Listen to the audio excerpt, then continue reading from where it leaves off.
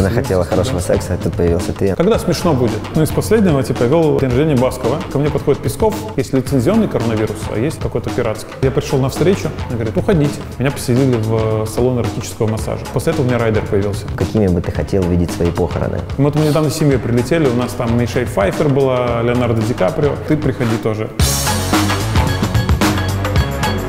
Ты начал заниматься стендапом, Ага. да? Ты сейчас э, к чему-то готовишься, к какому-то концерту, куда-то сдаешь материал? Я сейчас, э, слушай, вот лето было, типа, много мероприятий, работы, я пока, видишь, э, пытаюсь совмещать. У меня очень много написанного материала, который я пока еще не проверял. Я сейчас хочу как раз вот в ноябре, типа в декабре, в начале следующего года, как раз когда у меня такое будет межсезонье, просто попроверять его, по- позбивать, пособирать, потому что там, ну, как мне кажется, есть интересные такие замуты. Вот посмотрим, что получится. А так вообще у меня был сольник, даже я собрал, типа, программу э, минут на 45, наверное.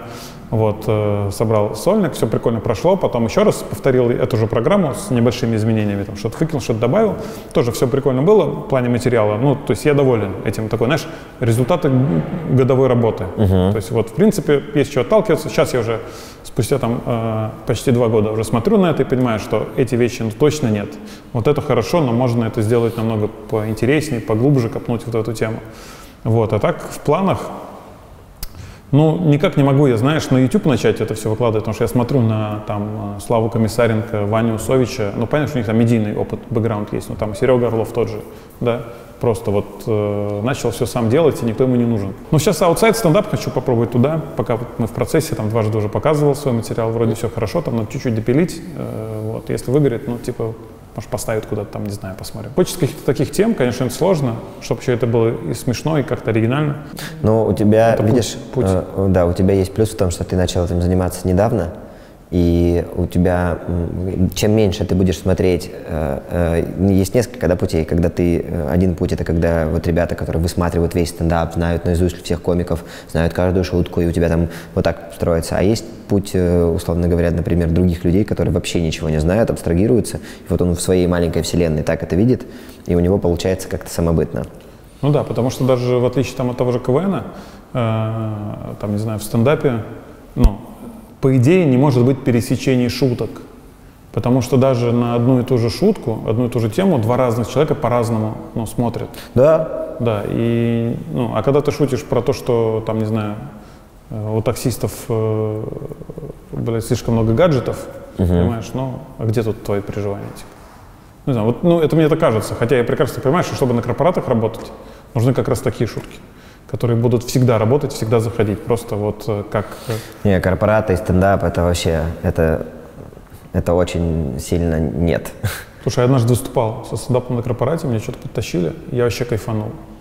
Я приехал... Ну, там, я знаешь о чем? О том, что там это другой материал, специальный, подготовленный, то есть это совершенно не про твою историю личную. То есть есть, есть номера, которые можно показывать на корпоративах, а, ну вот я сколько не пробовал это делать, мне вообще это не доставляет удовольствия. То есть только если с точки зрения того, что перейти просто на то, чтобы тебе платили за это деньги, да, то это как бы можно подготовить специальный номер, в котором ты будешь выступать, да, но когда ты... Это не про рост себя как стендап-комика, Точно мне нет, кажется. точно нет, точно нет. Вот, но мне понравилось. Я приехал на мероприятие, меня встретили, провели в гримерку, накормили, напоили. Подошла девушка, сказала, пора. Я 15 вышел, минут ушел. 10 там было настроя по 10 минут. 10 минут рассказал шутки, которые я даже, я даже не готовился. Ну, потому что я ничего не повторял. Ты со стороны сейчас говоришь ведущего, Да, который и 6 уехал, часов ведет мероприятие. Мне дали Да. бабос, я уехал. Кайф вообще, шикарно. да, это классно. Что там дальше будет с этими людьми? Ну, они зашли как бы, ну, действительно, когда твои шутки, когда, когда у тебя проверенный материал, который везде работает, ну, он не может не сработать вдруг, ну, по какой-то твоей вине. Если, если тебя хорошо слышно и видно, да, и люди не совсем в говно, то он точно сработает. Ну, как ни крути, вот это, это клевый э, опыт э, комедии, когда ты, ну, когда у тебя есть там твой материал, который уже тут железобетонный, ты прям знаешь, что ты выйдешь в любом городе, на любую аудиторию, и он точно сработает. У меня тут был недавно, я выступал где-то, там была такая аудитория в зале, ну, типа, у меня там был блог про детей, я говорю, у кого есть дети, блядь, один человек в зале. Я понимаю, что, блядь, нет, им вообще это не близко. Я типа слился с этой темы сразу. Вот это вот иногда, потому что, то есть я же шучу про себя, а мои проблемы людям, которые сейчас э, любят очень стендап, молодое поколение, там 20 лет, да, там, ну, им это вообще не близко. Про карту, пушкинскую карту шутка. Увидел комика, которая разорвала в зале. Я, блядь, даже не знаю, что это. Какая-то студенческая карта по музеям. Ну, типа, я вообще не в курсе. Вот. Ну, ты угораешь с жены своей? Она у тебя веселая? Ну, в смысле, есть веселая история с ней? Слушай, она максимально веселая, вот, я на ней шутки проверяю свои вообще, потому что я точно знаю, что она мне скажет, как есть, скажет, блядь, нет. Ну, может быть. Ну, а, а- а смотря для чего эта шутка. Типа, ну, такое.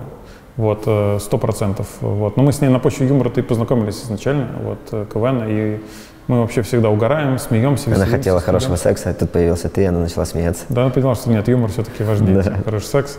Да, то есть и дети у нас тоже все на позитиве. То есть э, смешных историй с женой, но сиськи она сделала, но это не смешная история, мы смешно это в инсту выкладывали. Ну, то есть у меня в тот момент, у меня охваты выросли просто нереально. Сколько денег стоило? Э, 1300, наверное. 300 тысяч 350. сиськи? А ты осознанно, или вот знаешь, это тот момент, когда наступает вот у мужчины, что типа реально все настолько было плохо с грудью, что надо было делать?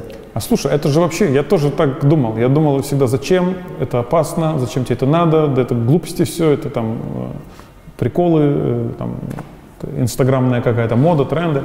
Сейчас ты понимаешь, что это нет, потому что если бы мне сказали, вот серьезно, э, я вот хожу к зеркалу в трусах в ванной, мне бы сказали, ты за 200 тысяч можешь сейчас сделать себе кубики, охуительный пресс у тебя будет. Э, полдня займет времени, все уже делают это, вообще никаких побочек не будет. Хочешь? Да, естественно. Ну, типа, потому что я прекрасно знаю, что если я буду смотреть на себя, у меня будет офигительный там пресс, я сейчас образ, да, все говорю, то я, я буду себя чувствовать лучше сам. Даже если все остальные люди скажут, да у тебя все классно, но важно же, как ты сам это все видишь. Ну, наверное, Понимаешь? да. Поэтому я считаю, что это абсолютно нормальная история. Тем более сейчас, когда это просто как к зубному сходить, знаешь, типа, ну, Ну, а сейчас они стали какие-то более упругие. да вообще, ну, вообще Ты другой- смотришь на них, они тебе нравятся? Вообще другой мир. Вообще, Как, какой размер стал? э, я в этом не разбираюсь, по-моему, второй, три- второй, с пол- два с половиной, что такое. Ну, прям, ну, круто. Она довольно счастлива, я счастлив, она очень, она и так была красивая, сейчас вообще вопросов нет, да. Если раньше могли сказать, у вас, конечно, красивая жена, но вот сейчас, блядь, вообще вопросов нет никаких. Вот. Вот, мы, ну, спокойно к этому относимся. Вот. Еще я заметил, что женщины, когда что-то хотят, они э, всегда издалека заходят. То есть я сейчас анализирую, мы вот э, ровно в, в январе, в начале этого года сделали эту историю, а я понял, что она начала говорить об этом года четыре назад. И мы что-то в шутку спускали, не, и потом это пришло к этому. Вот, поэтому э, я сейчас анализирую все, о чем мы когда-либо с женой говорили, потому что рано или поздно это ну, реализуется так или иначе. То есть женщины заходят всегда так издалека, аккуратно. А на мероприятиях у тебя были интересные, веселые истории, которые вот тебе в голову первое приходят? Ну, например, я могу тебе рассказать про свою, которая мне первая в голову приходит. Я как-то на мероприятии был, где чувак насрал в писсуар. Вот такая была свадьба, Забавно, где чувак почему-то решил насрать в писсуар. У тебя такие какие-то ситуации бывали? Ну, таких конкрет- конкретно не бывало. Ну, слушай, веселых-то много, надо сейчас сложно вспоминать. Но из последнего, типа, вел э, день рождения Баскова, э, фрагмент, э, там, первые там, два часа, скажем так. Потом он вел его сам. Вот. И в рамках этого дня рождения я делал э, пранк э, с гостями, которые там были, известные, типа Лев Лещенко, там, Иосиф Пригожин, Игорь Крутой, вот такие вот тусовка. Вот, и там а, был пранк. э, Ну, все сейчас кто в топе. Э, Да, да, да, да. Звучало в том, что я им звонил, короче, по громкой связи, э, представлялся организатором мероприятия, предлагал им всякую дичь, они там соглашались или нет, мы это все снимали, потом показывали, да, и люди, ну, угорали, потому что, типа, ну, розыгрыш, телефонный пранк, такая классика. Ага. Вот, и э, я стою, короче, ну, прошел этот ролик, типа, круто залетел вообще, я так оценил реакцию, типа, ну, приятно, круто оценили. Э, Вот, и я стою где-то в районе пультовой уже, на бейке, скажем так, что-то ходят гости, ко мне подходит Песков с женой, говорит, о, а я был в кадре только что. Песков, э. Песков, да. Да, и- А, Я был только что на экране в кадре, э, то есть они понимали, я как я звонил, мне Ага. было меня. Говорит, о, типа, говорит, это ты там сейчас только что был на экране? Я говорю, ну да. Он говорит, очень классный э, пранк получился. А я ему говорю, и, и у вас тоже. Вот. Ну, мы втроем поржали, э, вот, но я считаю, что это классная шутка. Типа, ну, мне она понравилась, вот, понял он ее или нет, это уже другой вопрос, но я считаю, что у них тоже классный пранк получился. Вот. А каких-то таких вот смешных ситуаций, Ну, они, знаешь, такие в основном они в контексте какие-то бывают. Я вообще люблю эту профессию за людей, потому что люди — это просто невероятные. То есть, условно говоря, знаешь, э, была невеста как-то, которая мне написала, типа, мы с мужем поругались, можно ли вернуть деньги? Э, Я пишу, согласно договору, удерживается неустойка. Он говорит, ладно, мы тогда подумаем. У меня была классная история недавно, когда я пришел на встречу. Организаторы были я, жених, ждем невесту, она задерживается. Всем что болтаем ни о чем, пьем кофе, такая стандартная история. Э, Проходит час, час. Э, Приходит невеста, такая в ФПХ забегает, снимает пальто, ни здрасте, ни извините, такая просто, блядь. Я такой сижу, я говорю, здравствуйте, она мне говорит, здравствуйте. Я говорю, круто, что вы, типа, круто, что вы приехали, типа, наконец-то мы начнем, типа. Она такая поворачивается, меня смотрит, говорит, а что, посмешнее ничего не придумал? Я сижу такой, э, говорю, в смысле? Я, блядь, вообще не понял. Она говорит, не смешно. Когда смешно будет? Я говорю, если вы хотите, могу сейчас просто встать и уйти. Она говорит, уходите. Я встаю и ухожу. Ну, прикинь, типа, блядь, вот такие вот люди бывают. Было бы смешно, если бы она сказала, не смешно, негр, понял, ты негр. Вот еще хуже было бы, если бы... Все, я просто встал, ушел, потом второй ведущий тоже получился от нее там кого-то, ну, какая-то неадекватная была абсолютно, да, и я потом в машине сижу, такой еду, ну, мне было обидно время потраченное, но я подумал, что слава богу, что вот, типа, ну, Эта история попадет в наш... эта история попадет в наш э, да, разговор, и просто мы разошлись, потому что очень круто, когда ты там давно работаешь, давно этим занимаешься, и можешь себе позволить выбирать людей. Это сто процентов вообще. Да, Я считаю, что... что- это самое лучшее, что может быть, потому что когда на этапе э, того, когда какие-то люди платят тебе деньги, и ты понимаешь, что это вообще не те люди, с которыми ты бы хотел вообще проводить время, то лучше отказаться. Да, я думаю, что слава богу, что у нас была встреча, потому что это могла быть, как иногда бывает, вот все, закинули тебе предоплату, Да. все, тебя утвердили. Разберемся. Ближе к делу разберемся. Ну, знаешь, ближе, кстати блядь. говоря, что такие люди, которые вот э, так вот себя ведут, как правило, самые лучшие, которые, знаешь, звонят, говорят, они даже не знают, говорят, короче, да, вот, сколько, 700, берите, забирайте, давай, увидимся в 6 там. Да, да, да. А вот те, которые так, ну, значит, вот это, вот это, вот это, вот это, шутки говно, туда говно, да. Да, самый кайф в ведении, вот это, я последние несколько лет это только понимаю, что просто работать с людьми, с которыми тебе по, по кайфу. Вот они тебе и заплатят больше, и они хотят именно тебя, и им с тобой по кайфу, и тебе с ними по кайфу.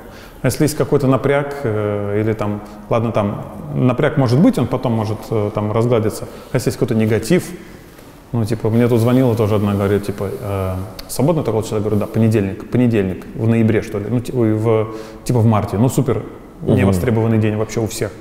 Я говорю, свободно. Она говорит, мероприятие очень серьезный человек, в общем, а, надо будет провести все аккуратно, деликатно. Я говорю, окей, типа, давайте сейчас созвонимся с именинником, день рождения мужчины, но перед этим давайте с вами обсудим что-то, чтобы были готовы к встрече. Я говорю, супер, давайте, у меня есть несколько вопросов. А что за именинник? Кто это? Кто это? Сколько лет? Кто это? Говорит, ну, неважно. Это вы задаете слишком много вопросов, это неважно, очень уважаемый человек. Я говорю, окей. Я говорю, какая? Хоть скажите, какая? Чиновник, депутат, бизнес. Он говорит, бизнес. Я говорю, окей. Говорю, что там будет? Ну, там будет то-то, там будет то-то. А еще там будет поздравление, э, как номер будет от девочек поздравления. Я говорю, «Э, от каких девочек? Такая, ну, она прям с агрессией на меня, типа, «Да это не важно. Закипает, да, не нравится да, ей не это. важно. Я говорю, ну, просто интересно. Это жены друзей, может быть, либо его подруги какие-то, либо это какой-то там артисты какие-то приедут, какое-то поздравление, там типа женский какой-то что-то там, вот концепция такая. Она говорит, в общем, неважно, вы, это не профессионально, мы с вами не сработаемся, она мне говорит. Вы слишком грустно. Я говорю, вы понимаете, мне очень важно знать, для кого работаю, и вы не просто мне сейчас дали денег, и я поехал. Даже, даже в понедельник я прекрасно понимаю, что лучше, конечно, заработать денег. Я говорю, поэтому давайте-ка, наверное, да, и не будем ни с кем созваниваться, найдете кого-то там, кто вам нужен. Вот, в итоге оказывается, что это какой-то, блядь, богатый человек, э, какая-то там, какие-то шлюхи, блядь, которых он там снял, блядь, человек 30 э, на свой день рождения. Я такой подумал, блядь, мне сколько лет уже? Я не хочу вести мероприятие, где какие-то, где проститутки, блядь, поздравляют именинника. Ну, блядь, нет. Ну, типа, вообще мне это не близко. Прикинь, они спич считали бы смешной. Ну, КВН, может, там... Не, прикинь, это проститутки, которые по майкам покатались, проверили материал. Да. Вот, Слушай, ну, типа, а э, какие самые нелепые ситуации у тебя происходили? Ну, веселые, ну, условно говоря, знаешь, из разряда, когда ты там имя говоришь не той невесты. там. Не, самая, одна из забавных ситуаций, э, это когда я проиграл кастинг ведущих на африканскую вечеринку. Реально. Прикинь, я, блядь, ржал пиздец. Ну, то есть я не знаю, по каким там, может быть цена, может быть просто не понравилось то, что я им предлагал там, но это просто очень смешно само по себе. Выиграл какой-то обычный там русский парень. Олег Обычный. Белецкий? Ну, там условный, да, какой-нибудь. А, Вот, ну, типа, это смешно. А так, всякие ситуации, но я стараюсь в них не попадать, потому, ну, мне не страшно в них попасть, потому что я могу отшутиться всегда. Вот, если я перепутал какое-то имя, э, я вообще всегда тут же могу отшутиться, и одна из моих э, коронных шуток, ну, как коронных, я однажды ее сказал, и она два раза ее сказала, она зашла, и я никак не могу сделать так, чтобы это говорить постоянно, потому что она очень смешная. А, дело было так, какой-то был корпорат, там был чувак в очках, айтишники какие-то, по-моему. Я типа говорю, Артем, идите сюда. Мне говорят, это не Артем, это Андрей. Потому что они, блядь, в очках с бородами похожи были. Я говорю, да вы все белые мне на одно лицо. Понимаешь? Все, и от меня в контексте эта шутка, конечно же, разорвала, вот, и типа потом несколько раз тоже заходила. То есть э, ну, типа ты сам подставляешься, чтобы потом про себя, про себя пошутить, опять же, да? То, что ты э, такой вот э, особенный. Ну так каких-то там смешных случаев, там, а, ну на гастролях был, ну как на гастролях, ездил в другой город, меня поселили, э, у меня, после этого у меня райдер появился, четкий. Меня поселили в салон эротического массажа. Прикинь. Салон эротического массажа? Да, я захожу в гости- гостиница такая, полу- приглушенный свет, я такой думаю, ну прикольный, стильный, типа отельчик такой, в Перми, по-моему, это было. А, захожу в номер, сажусь, прикольный номер, большой, такой достаточно хороший, чистый, все здорово, А, ресепшн там. А потом смотрю, какая-то слишком, ну, пошлая картина висит. Красивая, но пошловатая такая, ну в отелях такие не вешают. Я такой иду на ресепшн, типа туда-сюда, что-то там. Ладно, пойду на мероприятие. Еду на мероприятие. представляю, как ты звонишь в ресепшн, а у тебя телефонная трубка в виде дилда, и ты, ты такой, о, что-то... Да, давайте. Вот, позвонил, короче, э, пошел на ресепшн, там никого не было, поехал на мероприятие, вернулся. Какой-то кальян, какой-то э, женские голоса какие-то. Я говорю, блядь, говорю, а что за отель у вас? Она говорит, ну, у нас э, салон массажный. Я говорю, в смысле массажный салон? Прикинь, твои глаза, когда ты понял, что тебя поселили в, салон массажный. Да, я просто охуел, типа, ну, что это подешевле было, ну, подешевле поселили, когда я приехал, э, я там не распаковывал вещи особо, там собрался, типа, и уехал в отель, сам снял, типа, жил нормально. Ну, типа, какие-то. Просто интересно, как организаторы пришли к тому, э, типа, может быть, это чей- чей-то батя у него держит этот массаж. Да нет, я думаю, знаешь, как обычно бывает, это просто это респект э, СММщикам массажки. М. Ну, они где-то разместились э, по ссылкам, где ищут отели, цену поставили чуть ниже, там 2 500, там вместо там 3 500 по среднерынку, среднерынку, вот и все, и люди приезжают, ну, типа, очень странная история. И таких вот глупостей было, вот таких вещей. А с тобой бывало, разговаривали, когда, там, знаешь, типа, условно говоря, у меня как-то была история во Владивостоке на рынке. Я, у нас есть китайский рынок, это считается одной из самых топовых мест. Я как-то прихожу на китайский рынок и начинаю китайцу говорить, «Сл- ты меня понимаешь, мне нужен этот цвет, ты меня понимаешь, я тебе говорю. И чувак говорит, я тебя нормально понимаю, на чистом русском. Он говорит, я бурят. Ну, типа, ты чё? Слушай, у, меня про, у меня про это блог целый есть, короче. Это постоянная история. Это в самолете вот недавно летели обратно как раз с семьей с отдыха. Я сижу, э, три места, одно у окна, я сижу у прохода. Тут два свободных, я знаю, что кто-то сейчас придет, и когда кто-то придет, я, естественно, встану, пропущу их и сяду. Ну, блядь, вообще. А мои там сидят где-то вот напротив, там все вместе. Э, Подходят э, две женщины, смотрят на меня, смотрят на эти места, и вот это вот начинается, знаешь, типа, э, тут, тут все, блядь, тут это вот начинается, я сижу, блядь, просто угораю, Ты должен подыгрывать начать. и я говорю, вам пройти надо? Типа, да. Все, проходит. Типа, вот эти вот люди, блядь, ну, меня обезьяны называют, понимаешь, после этого всего. И таких еще у меня есть шутка, там есть, что, типа, я единственный человек, который в крошке картошки видел меню на английском языке. Ну, потому что это всегда так. Люди со мной не начинают разговор, потому что я сажусь в кафе где-нибудь, в ресторан, особенно в регионах. В Москве это попроще. Блядь, я прям вижу, как официанты. И вот они ждут, блядь, когда я им скажу, я говорю, здравствуйте, они такие. Нормально, знает, да? Да, очень смешно. По-английски постоянно что-то со мной пытаются разговаривать. Э, Очень смешно. Однажды в лифте в, в Турции в отеле ехал э, с русской парой, пожалуй, такой лет 50, и они хуесосили черножопых. Они Как они, говорили типа, про тебя в том числе. Заебали черножопые, блядь, куда ни сунься, блядь, везде они, блядь. э. Вот мы доехали до первого этажа, я им сказал просто хорошего дня э, и вышел. Ну, они подохуели немножко такие. Вот, это вообще прикольная тема, обожаю. Я как-то на, на Пхукете был, и там есть острова, Пхипхи называются они. И там проходит какой-то фестиваль, и мы туда поехали на этот фестиваль. В общем-то, я сижу и пытаюсь чуваку, бармену объяснить, у меня что-то там порвалось, я ему говорю, you ha-" а у меня английский такой достаточно интересный. Я ему говорю, you have eagles. Eagles. You have eagles. Ну, Да, конечно. и я думал, что вот, и потом, когда мне, ну, как бы объяснили, я это понимаю, что я просто чуваку говорю, типа, у вас есть орлы, у вас есть орлы. У тебя есть в жизни вещи, которые тебя сильно веселят? Слушай, меня вообще веселит все, что в этой стране происходит в последнее время. Меня вообще веселит вся история, э, которая сейчас происходит э, с коронавирусом. Вообще просто веселит. Вот эти вот э, моменты, когда там типа нужно носить маски, нужны ПЦР-тесты. Просто э, когда прилетаешь из-за границы в Россию, э, тебе дают в самолете анкеты, где ты должен заполнить. Они не- это никакой не номер, они без штампов, какая-то просто хрень, которую надо как бы заполнить, написать, как тебя зовут, откуда ты прилетел, где ты живешь, номер паспорта, и там болел ли ты, пересекался ли ты с тем, кто болеет, стандартная анкета, и подпись поставить. Причем там написано, что если вы дадите ложные показания, это будет ответственность э, Уголовная. какая-то к вам применена, да. И когда ты выходишь э, через, после паспортного контроля, сидят, все оцеплено, и сидят люди с столиков, которые забирают у тебя эту анкету, и без этого ты не можешь выйти, как бы, ну, якобы.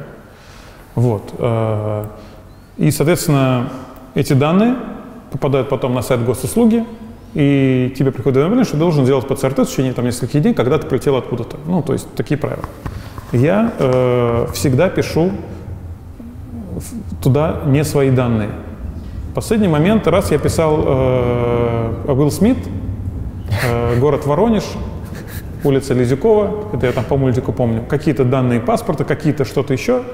И э, я подхожу, даю эту анкету женщине, она ее берет, ну, и меня внутри, я веселюсь, потому что я понимаю, что это никому не надо. Вот делаю несколько шагов дальше, она меня, молодой человек, окрикивает, я такой думаю, ну не сработало, придется писать какие-то, наверное, настоящие. Я к ней поворачиваюсь, она мне говорит, а номер дома?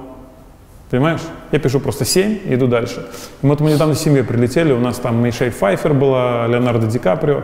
Просто, ну, потому что мне это веселит, с каким они серьезным видом просят мне эту анкету, хотя она никому не нужна. Это там про маски про те же, то есть про, ну, когда они, ну, это разве не смешно, когда тебе говорят о том, что э, в театр можно, в кино нельзя, в ресторан нельзя, там, не знаю, а куда там можно? Ну, типа, блядь, непонятно. А если, э, или там запрещены мероприятия, кроме э, государственных. Типа, думаешь, блядь, в чем прикол-то? Что вы, что вы, что вы На хотите? государственных мероприятиях хадис не болеют. Да, и вот это вот все очень смешно. И я не знаю, кто это все придумывает, но э, у меня даже была теория, даже пост писал в Инстаграме, что типа Сергей Семенович, я писал Собянину открытое письмо, я говорю, у меня есть ощущение, что кто-то вашу подпись спиздил. Ну, не может адекватный человек такие законы принимать вообще, которые сейчас происходят, вот эти запреты, можно, нельзя, ограничения. Вот это самое веселое, что сейчас есть. Или когда, типа, ты переболел, у тебя есть антитела. И ты можешь э, не делать тебе прививку, получить QR-код, потому что у тебя есть антитела, ты переболел. Но ты можешь получить ее только если ты переболел официально. То есть если ты вызывал врача и там куда ты э, записывался. А если ты переболел сам дома, например, пошел сделал тест, вот у тебя антитела, то это не считается. Есть лицензионный коронавирус, а есть э, какой-то пиратский, слитый с торрентов, не знаю. Типа, да, это все очень тупо. Это вот очень смешно. Ты задумывался э, на тему того, м, какие, какими бы ты хотел видеть свои похороны? Как бы ты хотел, чтобы они были организованы? Вообще это важно? Да похер. Ну, типа, слушай, э, если порассуждать, можно, конечно, порассуждать, типа, как бы это могло быть, но, наверное, как-то, э, вот знаешь, как, э, как были похороны у этого баскетболиста, который разбился? Вот, это было круто, да, потому что там, э, то есть это такая неправославная история абсолютно. Мне вообще все, что связано с православием, мне вообще не близко. Я к этому спокойно отношусь. Это похоже. Принимаю, принимаю, да, мне это вообще не близко, хотя у меня вся моя семья, типа, православная, даже дети. Ну, жена очень хотела. А, вот, поэтому что-то такое, типа какой-то, знаешь, какой позитивный, клевый сторителлинг. Вот, чтобы люди вспоминали про меня какие-то клевые вещи, чтобы, типа, ну, как-то вот собрались э, как, как, какие-то близкие мне люди, которые мне там, ну, мне было приятно, ты приходи тоже, вот, скажешь, вот приходил ко мне на... А ты какого года? 84-го. 84-го, постарше, да, вероятно, существует. Но знаешь, я про то, что многие люди, они, ну, я имею в виду вот старшего поколения, бабушки и дедушки, они постоянно откладывают на похороны, потому что они переживают, какие будут похороны, как это все будет проходить. Но я, мне кажется, что по сути ведь все равно. Ну, типа, не будет такого, что мертвец встанет и скажет, блядь, кружева, вот Что вообще просто классная, вообще, мне нравится кружева, просто вообще красиво. Гроб красивый, синий. Все равно же человеку.